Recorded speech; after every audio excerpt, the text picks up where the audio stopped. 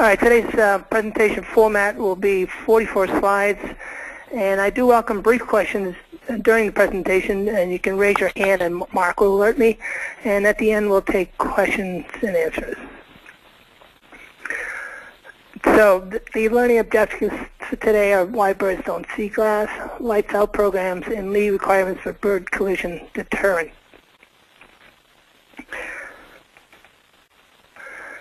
So why all the fuss?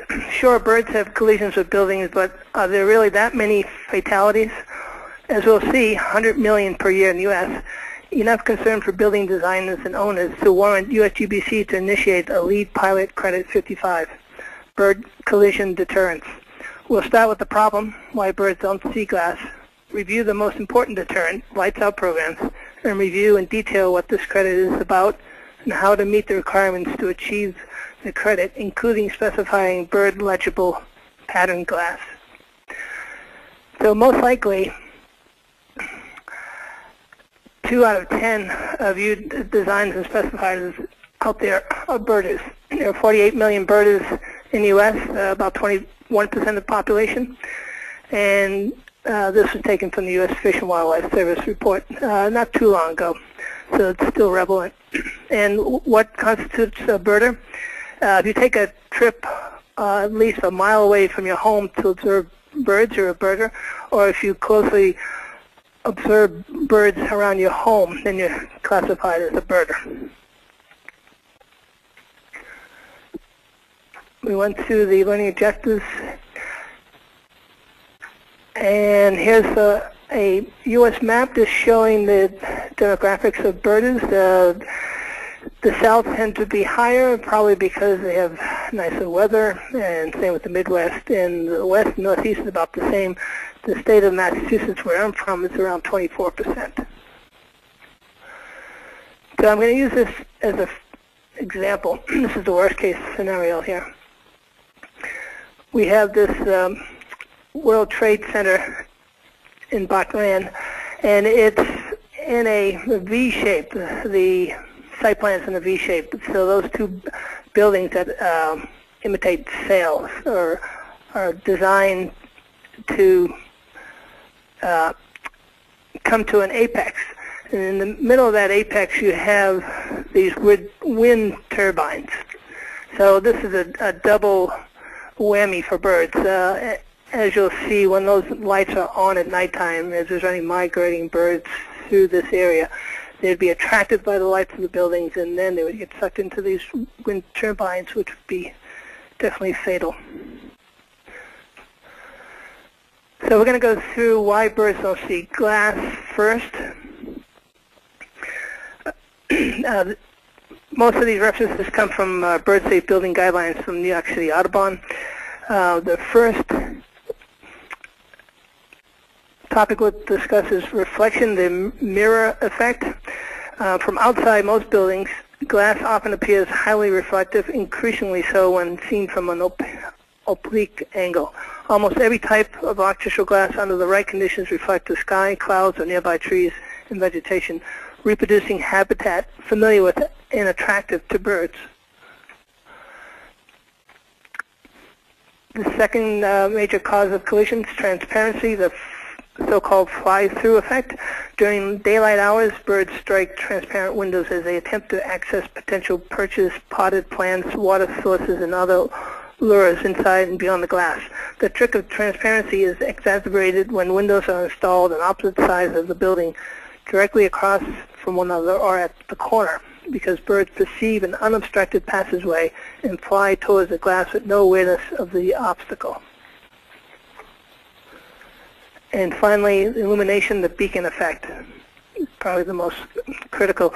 The illumination of buildings at night in, and in the early morning and evening creates conditions that are particularly hazardous on nighttime migrating birds. Typically flying at heights over 500 feet, especially if weather conditions are favorable, nocturnal migrants depend heavily on visual references to maintain orientation. During inclement weather, these migrants often descend to lower altitudes, possibly in search for clear sky celestial clues of magnetic references, and are liable to be attracted to illuminated buildings or other tall structures. Heavy moisture, humidity, fog, or mist in the air greatly increases the illuminated space around buildings, regardless of whether the light is generated by the interior or exterior source. Birds become disoriented and trapped while circling in an illuminated zone and are likely to succumb to exhaustion, predation, or lethal collision.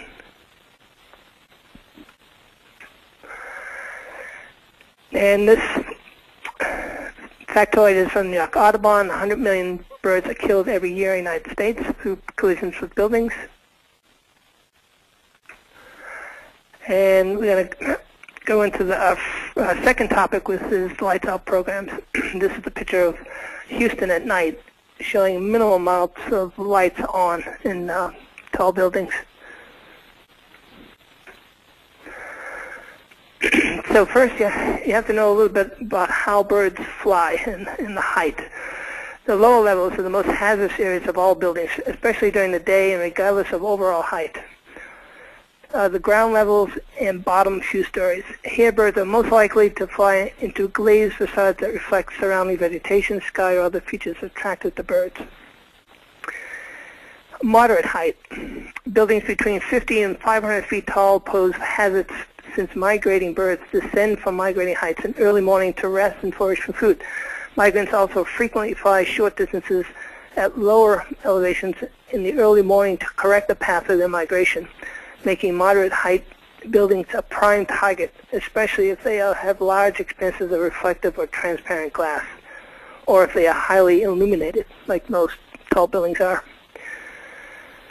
The tallest buildings, while the exact heights of birds' migration paths varies depending on species, geography, season, time of day, night, and weather conditions, radar tracking has determined that approximately 98% of flying vertebrates, birds and bats, migrated at heights below 500 meters or 1,640 feet during the spring, with 75% of flying below that level in the fall. Today, many of the tallest buildings in the world reach or come close to the upper limits of bird and bat migration. Storms of fog, which cause disorientation, put countless numbers of birds at risk during a single evening. Any building over 500 feet tall, then approximately 40 50 stories, is an obstacle on the path of avian nighttime migration and must be thoughtfully designed and operated to minimize its impact. Currently, the tallest building in the world, the Burj Khalifa, is 2,700 feet in Dubai, and the Willis Tower, for U.S. comparison, is 1,450 feet in Chicago. So if you can see my mouse, the Willis Tower is about the top of the shorebird migration.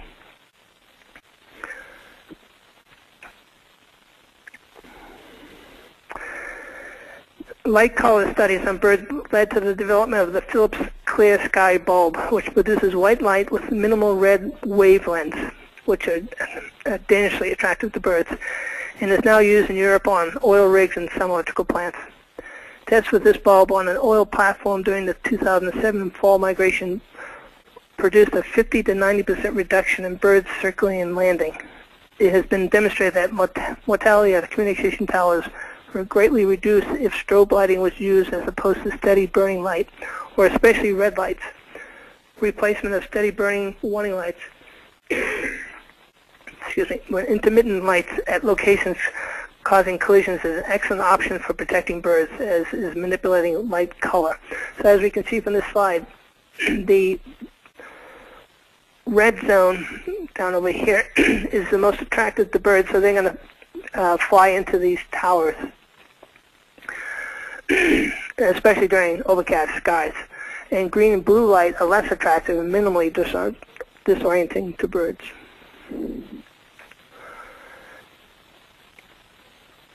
In 1997, FLAP, which stands for Fatal Light Awareness Program, uh, was developed, which successfully encouraged 16 major downtown buildings to extinguish unnecessary interior and exterior lighting after midnight during migration seasons. This is in uh, the city of Toronto. The program has reduced nighttime light emission and bird mortality throughout the downtown eliminating the floodlighting of the CN Tower, for example, virtually eradicated bird mortality at that site. FLAP estimates that participation of all 16 buildings in the bird-friendly building program saves $3.2 million in energy costs, the equivalent reduction of 38,000 tons of carbon dioxide emissions.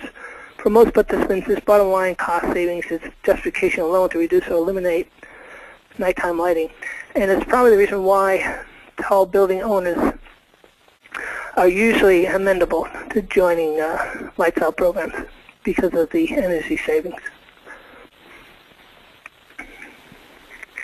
Here's a good example on the, left side. You see the, the this beacon effect what birds would be attracted to. On, on the right side, it's more muted and probably less desirable for birds to uh, approach.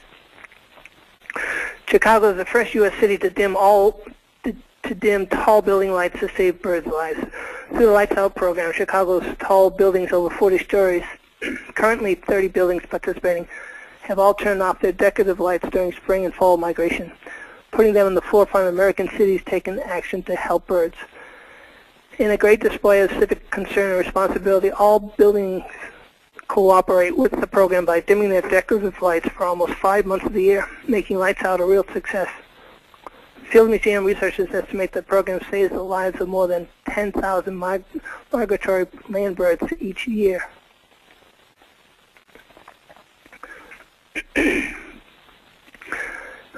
So Mark asked whether the robins and seagulls was affected um, by uh, buildings in their lights on. And that's probably not true because uh, they tend to be resident birds. it's the migrating birds that are affected, and particularly the songbirds that you can see here. The songbirds are in the top of this list. White-throated sparrows, ovenbirds, and common yellowthroats are repeatedly amongst the top 10 uh, lists.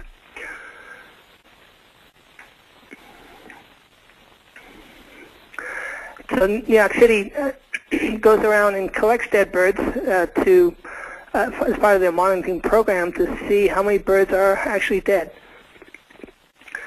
Growing awareness of light's fatal attraction to birds has led to action. York City Audubon inaugurated Lights Out New York in 2005. A number of city iconic buildings such as the Chrysler Building, Rockefeller Center, 501 Lexington Ave, Silverstein Properties, the Time Warner Center, and Worldwide Plaza will turn off their lights from midnight to dawn during peak migration seasons from September 1st to November 1st. And more at home for me, the Lights Out Boston program that started in 2008. Here are some of the particulars. Uh, there are 46 participating buildings to date. It includes the John Hancock Tower, the Prudential Tower, and the World Trade Center and International Place. what it requires is a dim and extinguished internal lighting and extinguished decorative architectural lighting between 11 and 5. And the lights out dates are generally during migration March 1st to June 1st, and then fall migrations August 15th to August 31st. Excuse me, October 31st. Again, saves energy, reduces heat trapping gases that contribute to climate change, so that's going to reduce the urban heat island effect in cities, and it saves the building owners money on electricity costs. And the Lights Out program is now expanded across the U.S. So there are Lights Out programs on the West Coast and, and Texas, uh, a lot in the Midwest. There's at least one location in Minnesota that has a state ordinance for lights out programs. And it, uh, out of all the design criteria you can do, having a lights out program is number one before the glass or, or general bird safety design. Now here's a good picture of the beacon effect. This is a tribute, uh, tribute in light spots at the Ground Zero Memorial September 11, 2004. And it shows all these birds flying around here, and they're, they're not migrating. They're just attracted to that light and uh, totally dazed. So you can imagine during migration what would happen. and on the right side, the red-tailed hawk probably thinks he sees another hawk, and so is trying to attack it on, the right side.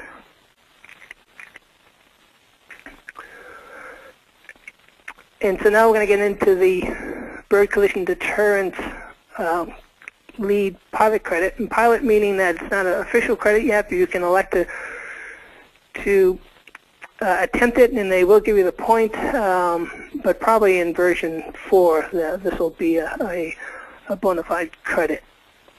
And as we see, uh, it's pretty comp comprehensive.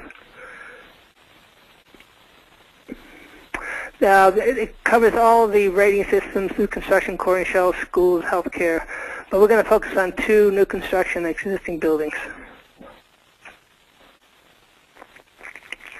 And uh, a quick visual explanation of the credit. The way it works is you have to have a safe building facade to all bird-friendly glass, or you have to meet a bird collision threat rating on the glass, and we'll go into detail on that.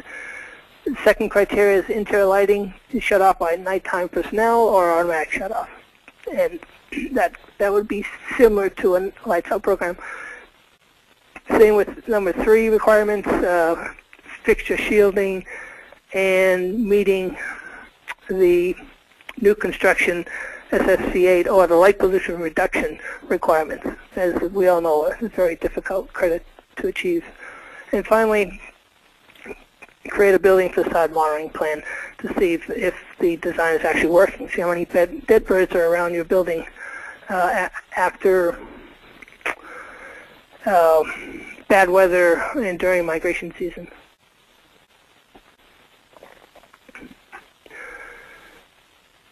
So the, the first requirement, building facade requirements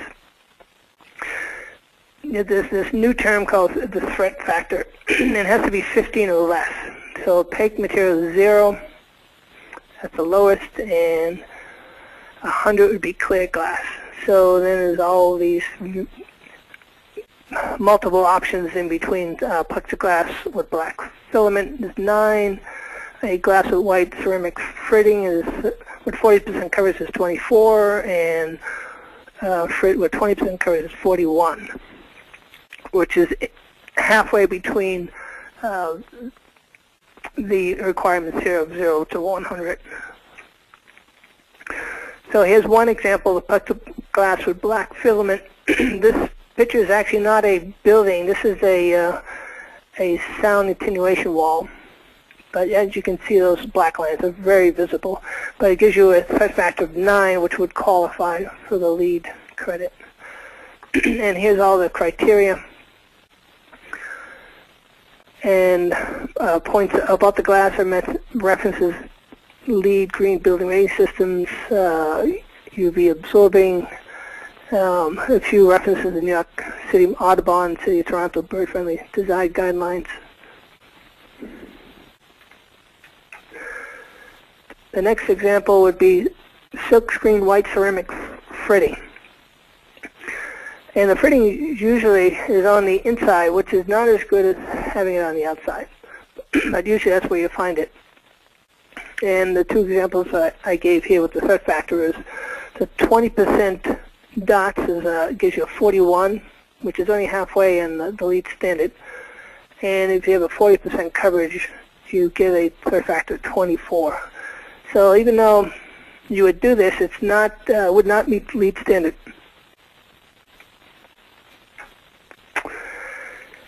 And the, the latest technology in bird-friendly glass is this Ornilux UV reflective lines in re irregular patterns. the Ornilux was inspired by how spiders use UV reflectance in their webs, so birds will not fly through them. In the understanding that birds are able to see light in the ultraviolet spectrum, utilizing the principles of biomimicry. So as you can see, birds can see this um, in the glass, but we don't. So we would see this, if you can see my pointer, and the birds would see this and would not fly into the glass. So it, it's highly effective. Although we only get a, a factor of 34, which would not qualify for LEED.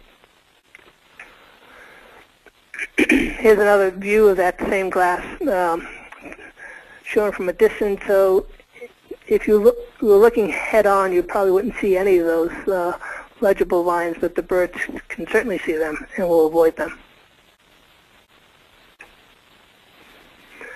And here's a calculator, and I just show this as an example. Uh, this is the John Hancock building in Boston.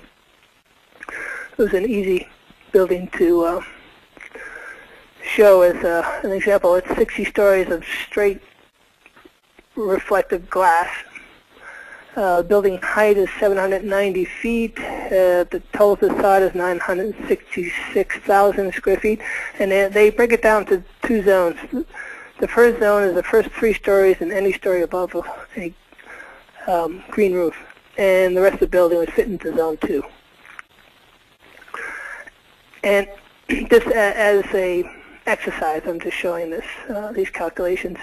You would put in the area of the glass for the first three stories, and this is the black mullions, would be opaque. On this side would be the rest of the uh, 57 stories.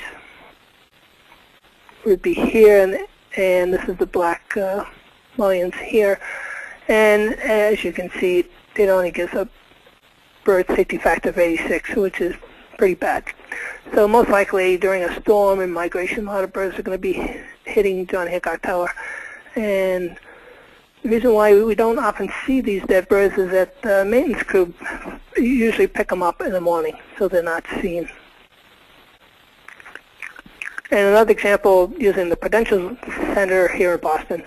This time I replaced, this is hypothetical, this is not, not a real project. Using the or Ornilux Mikado glass. And Prudential Tower is about 52 stories. Building height is 750 feet, and here's the breakdown, Zone 1 and Zone 2. it's about 50% glass and 50% opaque. So th these numbers go here, and the threat factor is 34 for this particular Ornilux glass. And all the glass above the third story would be this area right here with the same threat factor. So even if the Prudential Center were to replace all its glass with this uh, high-tech bird legible glass design, you would only get a 17. You need a 15. So you wouldn't get the point. So this point, credit is definitely not a uh, easy credit to achieve. Some bird trap, um, they, they mentioned the, the areas for the first three stories in green roofs are um, considered high threat, and this is why. When you have a green roof or setbacks, this attracts birds, and then they fly into the glass just beyond here. You can see my mouse. And in atriums, uh, if you design atriums with um, bird-friendly or, or trees that supply food to birds, and then you have this highly reflective glass on there done eating, they fly out. Uh, this particular library in Austin, uh, Massachusetts, has a lot of dead birds on, on the perimeter because they don't see that glass. Excuse me. Uh, a few other examples. Hall's Dormitory at MIT. These high uh, or deep recesses help um, the problem of uh, bird collisions because you can't really see that glass unless you're straight on, and the, it gives plenty of opportunity for the birds to, to recognize that there's a, a um, opaque surface there. Same with Studio Gang's uh, Aqua Tower. It not only has balconies, but also has bird-friendly glass as well. Uh, but again, the birds can see this waviness, and it's, it's very um, visible to them as opposed to transparent, all transparent glass. A few other examples, Gehry's uh, IAC headquarters has very dense fritted glass, so it hardly appears as glass, so birds are not likely to fly into that. And also here in Boston, the Piano's Gardner Museum Extension has this balustrade in the front, and it does not use reflective uh, material. This is actually opaque material in the background. The second requirement, interior lighting requirements, uh, nighttime personnel have to turn out lights or automatic shut off. Uh, develop a lighting design strategy to effectively eliminate or reduce light trespass from the building. The lighting in all spaces with a direct line of sight to exterior fenestration shall meet at least one or two of these options. Develop a lighting design strategy to effectively reduce and eliminate light trespass from exterior fixtures. Meet the exterior and garage lighting power density and control requirements in ASHRAE Standard 90.1 2010. Or meet the LEED SS8 credit light pollution reduction to minimize the light trespass from the building and site, reduce sky glow to increase night sky access, improve nighttime visibility through glare reduction, and reduce development impact on lighting and nocturnal environments. And here are a few examples of uh, uh, fixture shielding. This here is a project I'm doing in Norwood, Massachusetts, with uh, the full cutoff lights. and same with uh, wall-mounted sconces can be full cutoff. On the right here is an example of uh, acceptable and unacceptable light fixtures. And this was sponsored by the International Dark Sky Association, which has similar uh, interests as um, bird-friendly design to preserve and protect the nighttime environment in our heritage of dark skies through environmentally responsible outdoor lighting. And finally, the last requirement is post-construction monitoring plan requirements. Implement the facade monitoring plan for a period of three years. If the results of the monitoring plan indicate any areas of the building receive multiple collisions, consider implementing temporary or permanent retrofits to the building facade. And we're going to get into some of those options in a minute.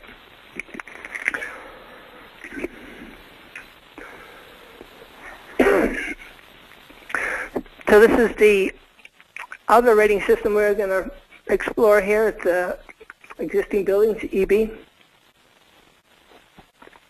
and how you can make your your building bird friendly on existing glass. it has similar requirements to new construction, except with the retrofit of uh, existing glass option. So as the visual explanations show here, the first requirement is to create a building facade monitoring plan. and that would include interior lighting, shut off uh, by nighttime personnel and autom automatic shut off, and exterior lighting, fixture shielding, or use the LEED credit light pollution reduction requirements.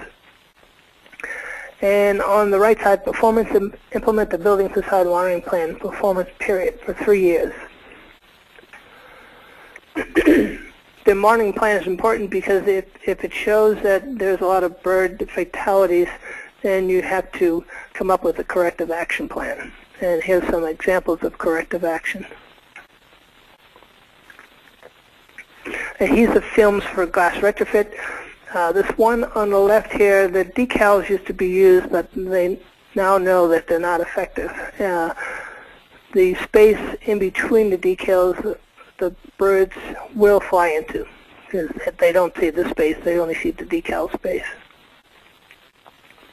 For home use, you have this Scotch Magic 810 vertical strips insulating tape has a threat factor of 34. And these threat factors, by the way, are not given by the manufacturer. They're not up to date on this yet. You have to go to um, a resource uh, from LEED to look up the uh, factor numbers. And then on the right side, 3M makes a Scotchcal um, tape that has a threat factor also for 34. It still will not meet the credit, but it is going to reduce the amount of bird strikes. So Richard, the threat factor lower is better. That's right, yeah. Ultimately, you want zero. But, and and but who would take 50, three years to, to get that credit in LEED EB?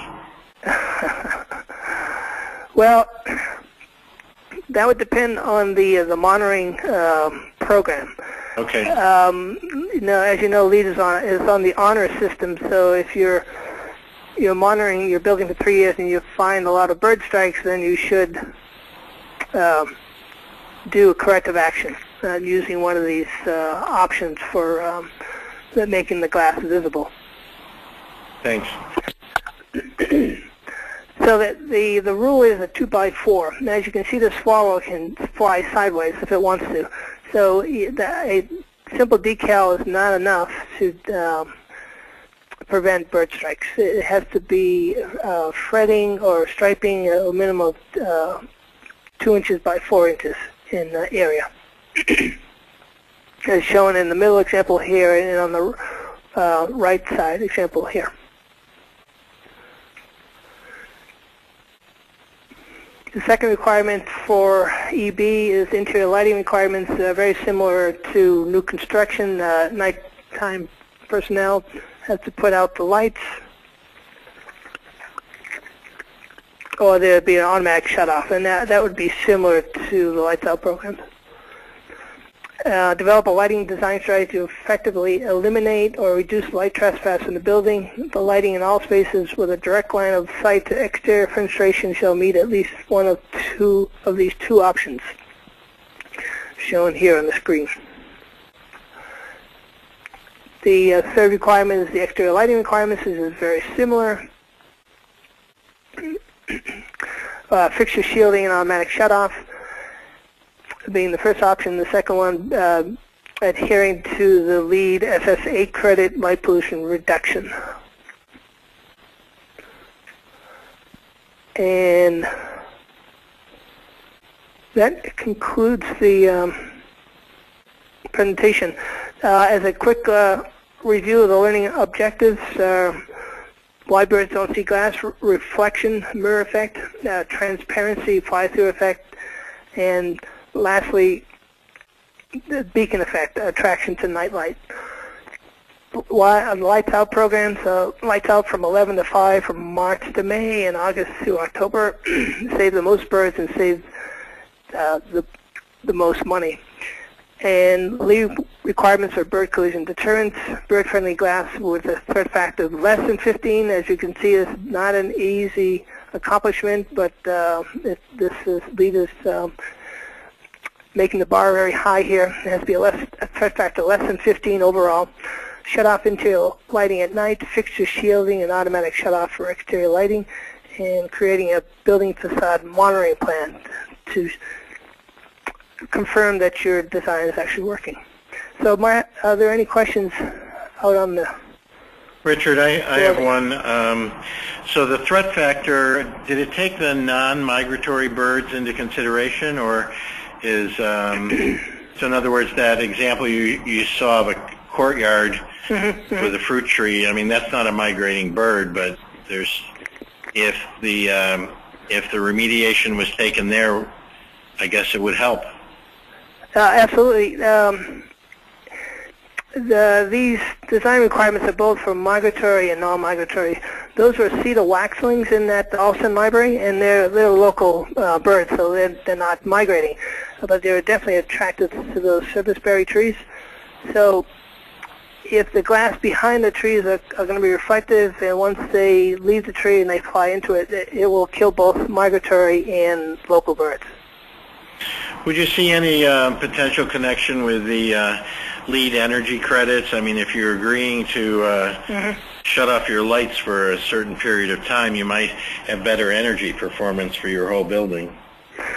well, that's a very good point, Mark.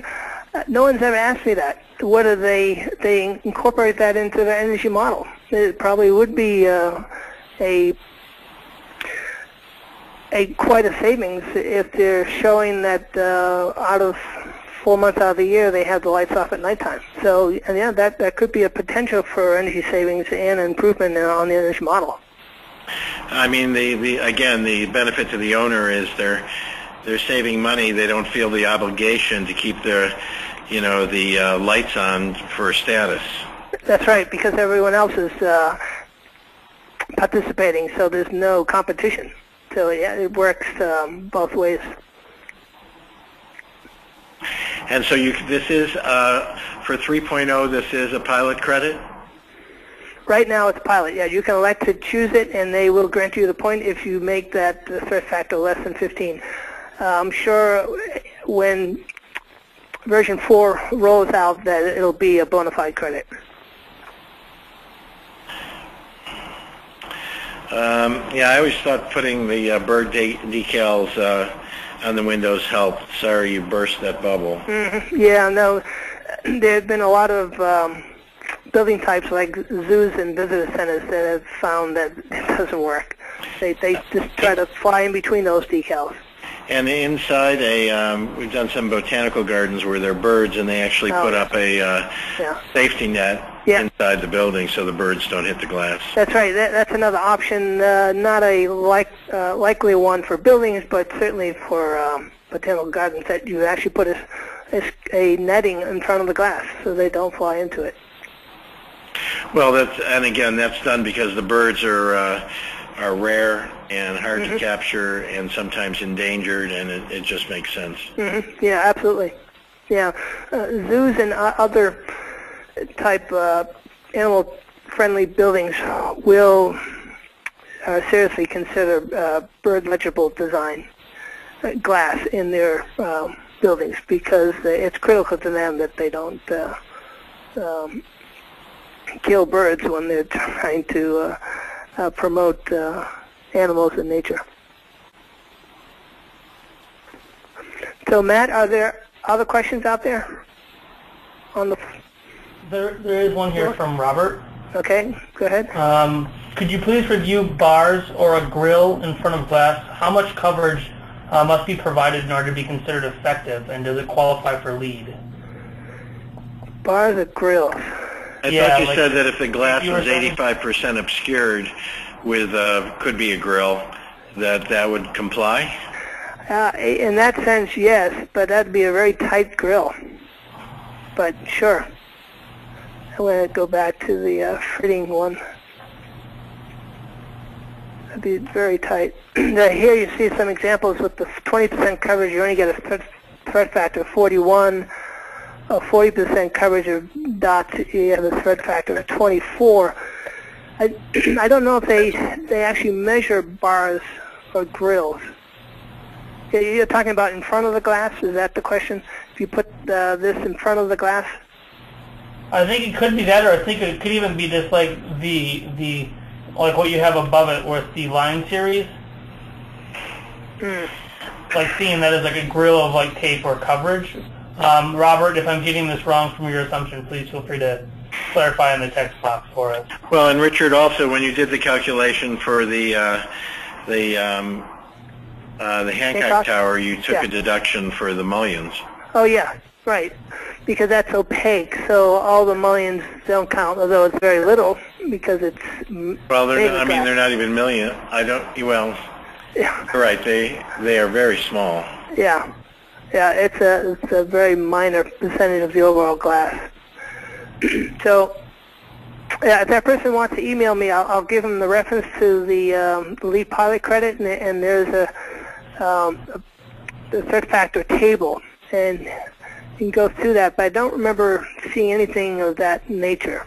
Of I understand there's some movement with the utility companies that have the um, uh, the tall towers that um, when they are replacing bulbs, they're they're staying away from the red, but they're not going to go up until the bulbs need replacing. yeah, yeah, and and that uh, certainly helps um, during migratory periods because the, the red definitely attracts uh, birds. Yeah.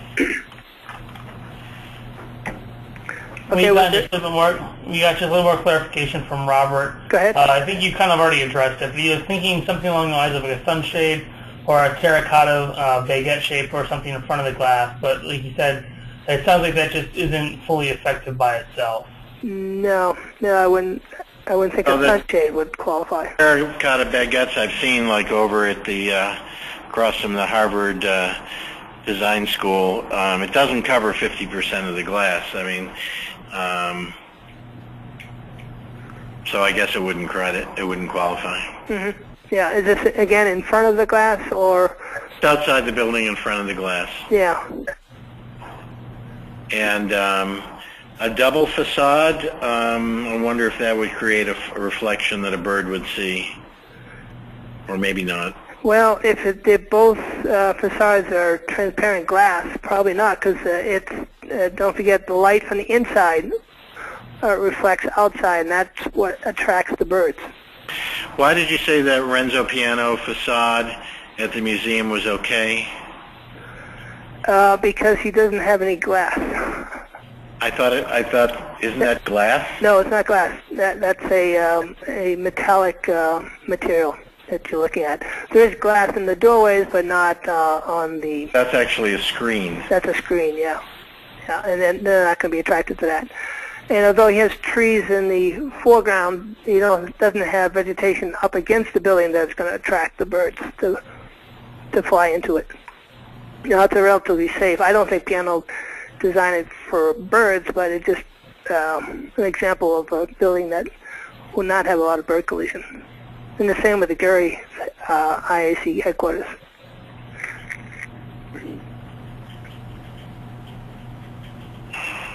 Okay, are there any other questions, Matt? We're, we got about 12 minutes, but... I don't have anything else at the moment. hmm Okay. Uh, Mark, you want to um, reiterate again our next webinar coming up in January? Sure. There's um, there are a growing number of uh, the presentation next month um, is by Usval VS, and there's a growing number of people in building product manufacturers um, who are concerned that uh, LEED and other rating programs are, you know, creating credits based on um, uh, less than scientific evidence. Um, and and asking manufacturers to take chemicals out of their products that that this particular group doesn't like. Um, and so I think he's he's uh, um, just trying to be a um, sort of counterpoint or a, a voice of reason in in uh, sustainability that's uh, with a, with documented science behind it. And um, he's an excellent speaker. He's very thoughtful. He's taught at the University of um, at IIT, I believe. He's um, and he's very involved with the real estate community um, who are responding to the um, different rating systems. And as you know, a number of the big uh, realty companies, holding companies, uh, have their own sustainability program rather than LEED, and it's it's based on uh, different criteria and often is is based on things that also save the um, the owner money or operating costs. So um, I, I, I think it'll be good to to look at sustainability beyond LEED, and uh, Usval is the uh, is uh, I think his presentation will address that very very well. I would really encourage uh, people to uh, put this one on their calendar for um, uh, January 15th. 15th, uh, it is from 3 to 4? Yep. Okay, very well. And that is up on the line, too, if you wanted to look at it for more um, details. You know, people are also welcome to suggest, who are listening in, to suggest uh, topics. In the past, we've done uh, hour-long topics. We've done 20-minute-long topics. So if you have something that you've done some research on or some lessons learned, uh, it'd be great if you want to uh, share it with the group. Yes, please do. So with that, Matt, if there's no more other questions, we can sign off a little early today. I thank everyone for uh, joining me today. Alrighty, there's a question I have here from Robert. Oh, go ahead. just if you do have any more information that would indicate high-performance glass uh, that includes silver material, such as a PPG Solarban 72XL, um, is more dangerous to birds due to higher reflectivity than a clear glass uh, without performing coating. I guess it's a matter of whether or not a glass that has a reflective coating is actually worse or better than regular glass. Oh, it's going to be bad. Yeah, reflective glass is bad. Right, but you know you have competing interests here. Once you get past that threat factor of uh, 15, whether you're using Solarban 60 or 70 or 72, um, you're saving energy. You're potentially increasing the comfort of the people in the buildings, and and none of them work for birds. So Yeah. um, it uh, it's not a matter of degrees. Um, from a bird point of view. So it's at that point it's about the uh, uh, energy use and the comfort of people in in the building. So I think they, if I understand the, the question correctly, um, my interpretation that something with a threat factor of 60 or 70 is still a threat factor, and, and so move to other criteria.